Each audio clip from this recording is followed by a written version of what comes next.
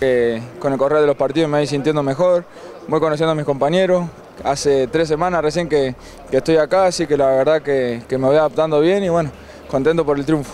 Eh, Vikingo, bueno, ¿sentiste en algún momento que era eso de no conocerse tan, por tanto tiempo, el hecho de que Alebrijes como que al principio sufrió o batalló en, ese, en esos primeros 45 minutos donde salió perdiendo 1 por 0?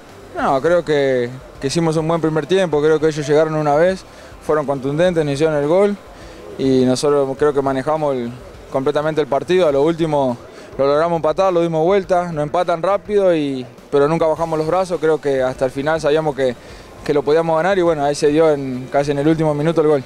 ¿Qué sientes que haya sido lo que revolucionó a estos alebrijes para conseguir los tres puntos?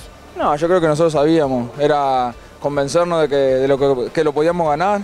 Creo que lo buscamos, lo buscamos, creo que era la manera de, de sacar ese partido, de no, de no mm, echarse atrás, sino seguir buscando el partido, no, no esperar que, que, pase otra cosa, así que gracias a Dios rindió su fruto. Ahora por último, Vikingo, bueno, ¿qué es lo que piensas que necesita mejorar a Lebrijes de Oaxaca?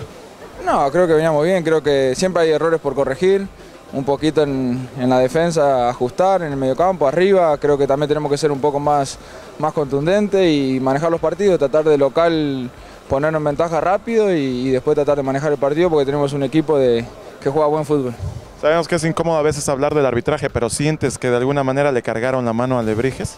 No, no, yo creo que, que, el árbitro lo hizo bastante bien. Yo soy nuevo, recién voy conociendo al, al arbitraje, así que, que, no tengo nada que decir. Creo que, que, hoy lo hizo bien.